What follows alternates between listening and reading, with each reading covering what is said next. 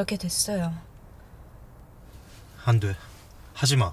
이미 엄마도 결심하셨어요. 처음 보는 오빠 앞에서도 마음 못 숨겨서 벌벌 떠는 애가 엄마를 상대로 요리 경합을 벌이겠다고? 이미 늦었어요. 다 그만두자. 다 밝히면 백 회장님이 좋아하시겠죠. 엄마 바뀐 딸도 못 알아보는 정신병자 취급하면서 그럼 나는 지켜만 보라고.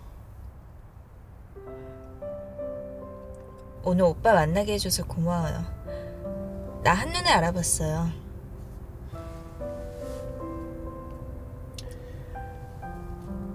많이 닮았어 너희 둘. 이제 진짜 호칭 애매하네. 오빠 친구한테 재하 씨, 재하 씨. 너무 이상하다. 다음에 만나면 늦었어. 가자. 혼자 갈게요. 조심해서 가요.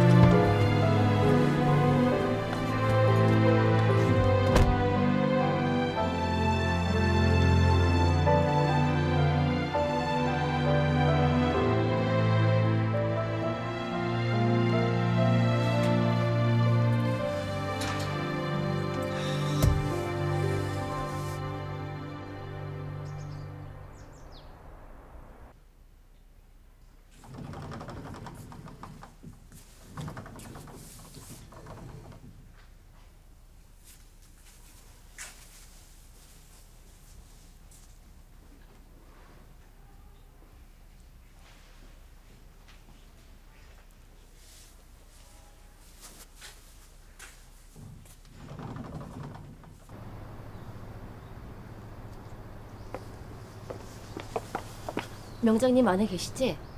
지금 쉬셔야 하는데 무슨 일 있어요? 맨날 있는 일이지 뭐. 아리랑 음식 바깥으로 나갈 수 없다고 아무리 설명해도 막무가내야. 내가 가볼게요. 아니 이거 싸주는 게 그렇게 힘들어요? 죄송합니다. 손님 원칙이라서 포장해 드릴 수가 없어요. 그럼 간단히 이거 이거 뭐 세 개만 싸줘요. 죄송합니다. 무슨 일이십니까, 손님? 당신 여기 책임자야? 아니 내가 내 돈 주고 산 음식을 싸갈 수가 없다니 이런 경우가 어딨어?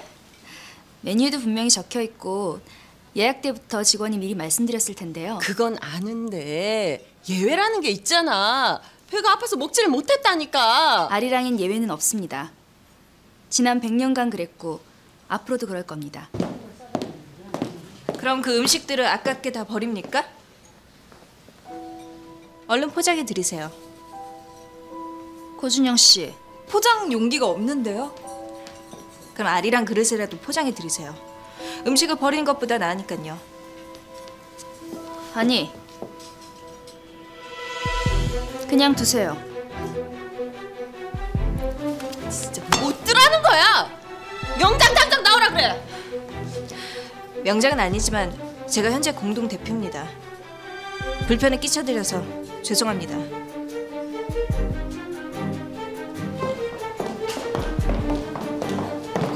대표로 오면서 기본 원칙도 안 해온 거야? 외웠어. 말도 안 되는 원칙까지. 그래서 지금부터 하나씩 바꿔볼 참이야. 너 뭔가 대단하게 착각하는 모양인데 음식 낭비는 물론이고 값을 지불했으면 그 음식의 주인은 아리랑이 아니라 손님이야. 좋아. 음식값 내지 말라고 할게. 됐지? 항상 이런 식이니까 아리랑이 적자로 못 면하지.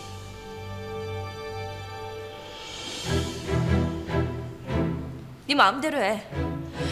어차피 바꿔야 될 명분이 충분하면 감사팀에 보고하기도 좋고 나야 고맙지 뭐. 내 눈으로 보면서도 못 믿겠다. 정말 놀라워. 이 정도로 놀라면 곤란하지. 난 아직도 보여줄 게 많이 남아 있거든. 너 같은 애를 한때 제자라고 아꼈다니 엄마가 아픈 게 당연하다.